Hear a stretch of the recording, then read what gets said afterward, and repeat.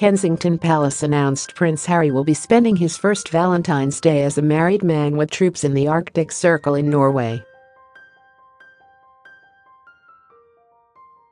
In a series of tweets, the palace wrote, the Duke of Sussex, Captain General at Royal Marines, will visit Exercise Clockwork to celebrate the 50th anniversary of the operation in Bardufoss, Norway on Thursday 14 February.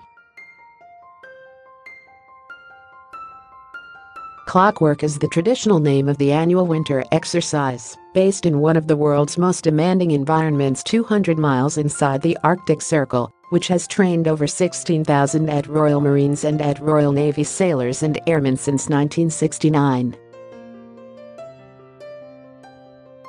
Meghan Markle vs. Kate, how fans are turning into abusive trolls too. Meghan Markle very involved as Frogmore Cottage works continue the Duke of Sussex will meet military personnel living and training on the base, view some of the specialist outdoor severe weather equipment and training that is conducted at Clockwork and talk with expert aircrews and engineers. Prince Harry, 34, will be meeting with Royal Marines in the grueling cold, while heavily pregnant Meghan Markle, 37, remains in the UK. The Duke was appointed Captain General Royal Marines on December 19, 2017, after succeeding the Duke of Edinburgh in the role. Bardufoss is expected to be between 13C and 23C on February 14, according to the latest weather forecast from AccuWeather. But the Duke has been to the Arctic before participating in a daring charity trek to the South Pole in 2013. Temperatures were said to have dropped to 45 C at the time. Harry may be visiting the Arctic during the day, but he could still be home in time for a romantic dinner with Meghan.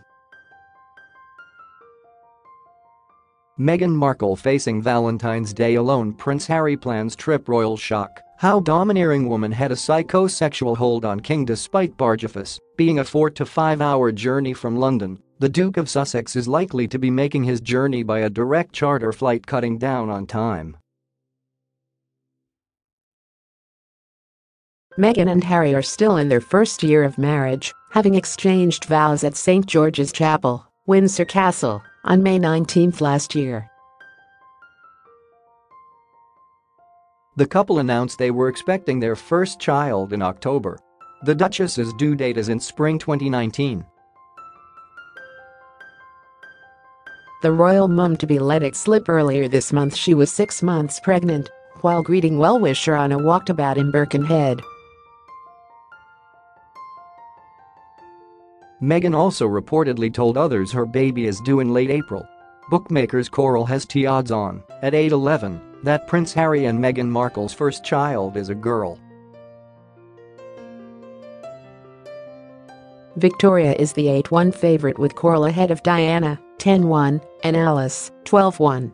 Coral's Harry Aitkenhead said, punters seem convinced that Meghan will be having a baby girl, and almost all the bets we are taking on the name of the newlyweds' first child are on girls.